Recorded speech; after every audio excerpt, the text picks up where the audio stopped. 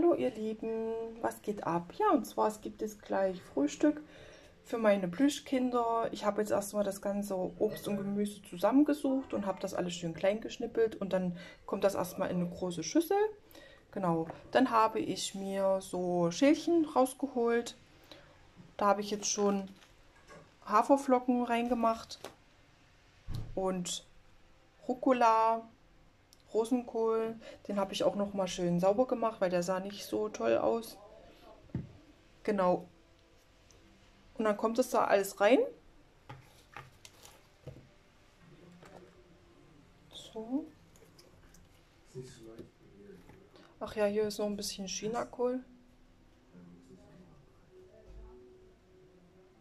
Tomaten soll man nicht so viel füttern, weil sonst kann es halt passieren, dass die halt so Matschkot bekommen. Und deswegen habe ich jetzt für jede Schale nur eine Tomate. So. Über Kosten haben wir noch nicht wirklich gesprochen.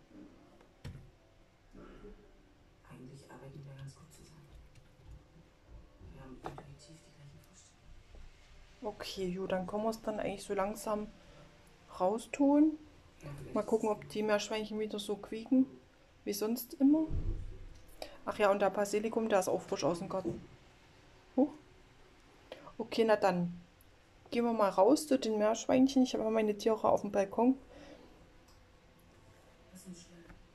So, auf geht's.